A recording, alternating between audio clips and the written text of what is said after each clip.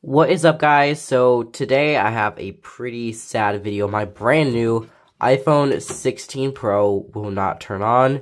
So um, obviously right now it's not on. Nothing's working. Obviously no vibrations from the action button because there's no vibrations to be had. This has been charging for 20 minutes. Nothing happens. So this charger as you can see here, I'm with both my hands, I'm not unplugging anything. Here's the Galaxy Z Flip 6, not charging this. Again, not changing anything. Charging the Galaxy Z Flip 6. Again, with the AirPods Pro 2. If it was Type-C.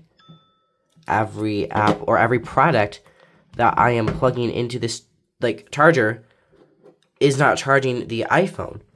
And I don't know why. I don't know if someone could leave it down in the comments. I'm going to call Apple after this and see what's going on. It could be something with the charging port. I'm going to try wireless charging later. Um, I don't honestly have no idea what's happening. It's so weird. Maybe the screen is dead. Maybe one of the internals. But as you can see, it's been like maybe a little bit, like a minute roughly. Not turning on at all. Let me try pressing and holding the buttons, the power button and the volume up button.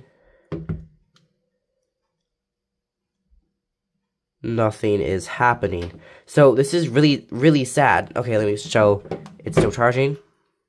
Or at least the thing is still plugged into power. Still plugged into power.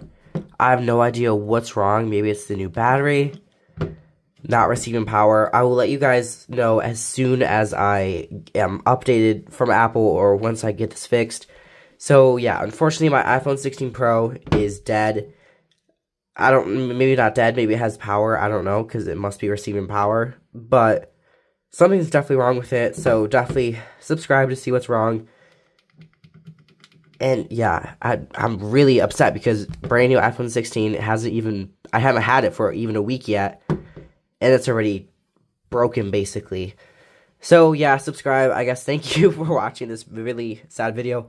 Um, if I do have this fixed, um, by the time you're watching this video, there'll be a pinned comment. Um, and go watch the video. It should be at the end title or end screen about how I was able to fix it. So yeah, subscribe for that. Thanks for watching, and see you guys.